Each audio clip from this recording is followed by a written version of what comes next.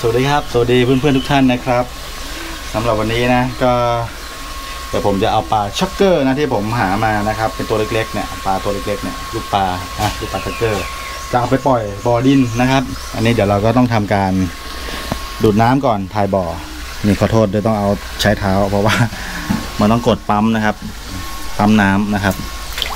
ปั๊มน้ำนี่เป็นปั๊มน้ำ12 โวลต์นะครับนี่ 12โวลต์ข้างบนเนี่ยสายนี้มาจากโซลาร์เซลล์ปั๊ม12โวลต์เราดูน้ำเนี่ยแรงไหมนะครับเนี่ยน้ำแรงนะน้ำแรงมากนะครับ ที่ผมใช้ 12 โวลต์ผมชอบ เพราะว่าเวลาทำอยู่กับน้ำเนี่ยมันปลอดภัยนะครับ ปลอดภัย นี่มานี่นี่นะครับ อันนี้เป็นลูกปลาลูกปลาที่เราอนุบาลนะครับผม นี่เนี่ยลูกปลาชักเกอร์ที่เราอนุบาลไว้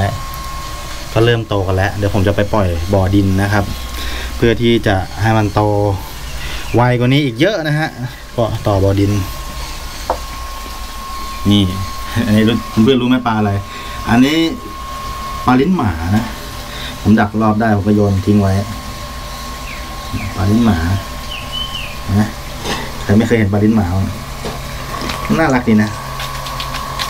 อืม โอ้ดูดน้ำดูดน้ำน้ำนั่นแล้วโอ้พอดูดไม่ขึ้นเสร็จแล้วก็ชักปลักปึ๊บปึ๊บชักปลักเรียบร้อยนะฮะ12โวลต์เนี่ยปลอดภัยครับ ไม่อันตราย ถ้าไฟ220ไปช็อตเราถึงตายได้นะครับ อ่าเดี๋ยวเราจะมาจับปลานะ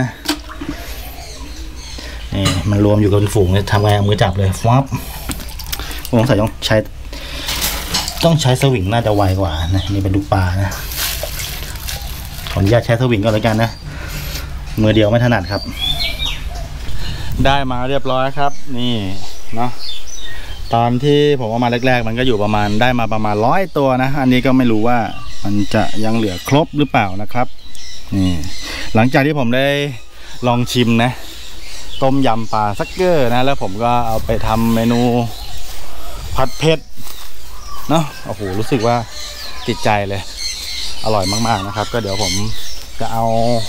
ปลาชักเกอร์เนี่ย หรือว่าปลาดูดเนี่ย ปล่อยลงไปในบ่อที่ผมเตรียมไว้นะครับ เป็นบ่อดิน ซึ่งเป็นบ่อที่บ้านเองนะครับ อืมซึ่งเป็นบ่อที่บ้านของผมเลย ก็เมื่อกี้มีไอ้ตัวเงินตัวทองด้วยนะเนี่ยดูว่ายลงไปในน้ำเห็นไหมไปเมื่อกี้เนี่ย มาแอบกินปลาผมหมดซะมั้ง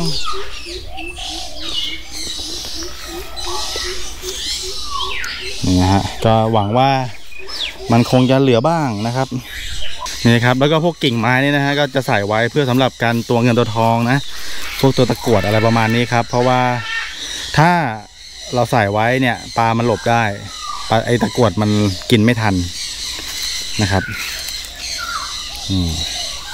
ก็เดี๋ยวเราจะปล่อยกันเลยแล้วกัน เนาะปีหนึ่งค่อยว่ากันไม่รู้ว่าตัวมันจะใหญ่แค่ไหนนะครับนี่คือปลาสกเกอร์นะฮะนี่หลายตัวมากนะฮะอะปล่อยไปเลย อยู่บ่อดินก็น่าจะโต อันนี้ตัวใหญ่ๆผมก็ได้ปล่อยไปบ้างแล้วนะครับ ไม่มีใครบ้าอย่างผมนะเนี่ยเลี้ยงปลาชักเกอร์นะ มีแต่เขาจะทิ้งนะฮะ แต่เขาบอกว่าเนื้อมันอร่อยมาก ผมถึงขั้นติดใจนะถึงขั้นติดใจเอามาเลี้ยงแล้วเดี๋ยวเราก็จะเอามันขึ้นมากิน แต่ตอนเอาขึ้นนี่ยจะเอาขึ้นยังไงใช่ไหมตัวเล็กๆ นี่ก็อาจจะรอดไม่หมดนะครับ อาจจะโดนพวกปลาช่อนปลาใหญ่ใหญ่ตัวใหญ่ กินบ้าง อ่าเรียบร้อยปล่อยเรียบร้อยนะครับอ่า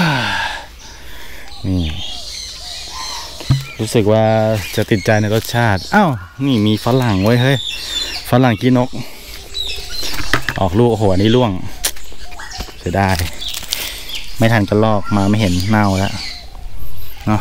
แต่มีอันนี้ยังมีสองลูกนะฮะเพื่อนๆรู้จักป่ะฝรั่งกี้นกไม่รู้ว่าที่อื่นเรียกยังไงนะบ้านผมเรียกฝรั่งขี้นก ฝรั่งขี้นกคือเนื้อข้างในมันจะแดงนะฮะนี่ ข่าวปลาเมื่อกี้ เช็ดก่อน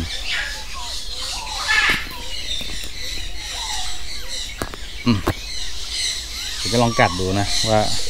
ข้างในเป็นไง อันนี้ฝรั่งที่บ้านเองครับไม่ได้ฉีดยา เอ้านึกว่าตัวอะไรตกใจหมาลงน้ำอืมหวานเจี๊ยบเห็นไหมอันนี้ข้างในเป็นสีชมพู ลูกนี้เอาไว้ก่อนมันแข็งอยู่โอ้โหถ้าเป็นลูกนั้นหวานมากเลยงอมงอมๆ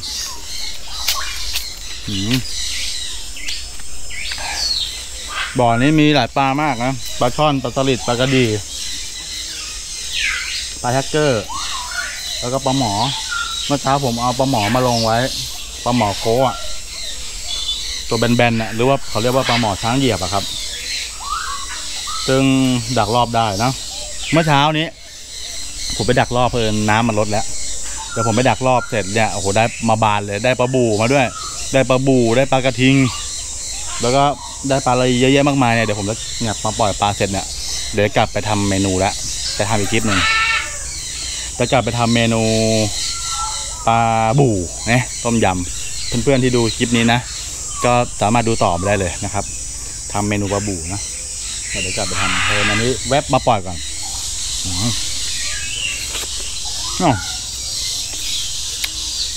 เนี่ยฮะบ้านสวนบ้านทุ่งของเราเดี๋ยวกลับบ้านมะพร้าวก็มีนะที่บ้านมะพร้าวอ่อน ลูกใหญ่แล้ว ต้นแค่นี้เองเห็นไหมเอามาสวยๆก็ใช้ได้แล้ว สูงกว่านี้ก็ไม่ไหวปีนไม่ได้มาพาเพื่อนๆชมสวนนะเยอะแยะ ข้างหลังนี่ก็มีทั้งมะม่วงนะที่บ้าน เป็นมะม่วงมันนะครับ แล้วก็มีสวนกล้วยยาวไปเลย ตรงนี้ก็จะปลูกพวกฟักฟัก ก่อนหน้านี้ปลูกบวบนะฮะปลูกบวบส่วนเยอะแยะเลย หมูหมูผมเลี้ยงอยู่หลังบ้านนะผมก็ตัดต้นกล้วยเนี่ยตัดต้นกล้วยแล้วก็ไปขุนหมู ทุกวัน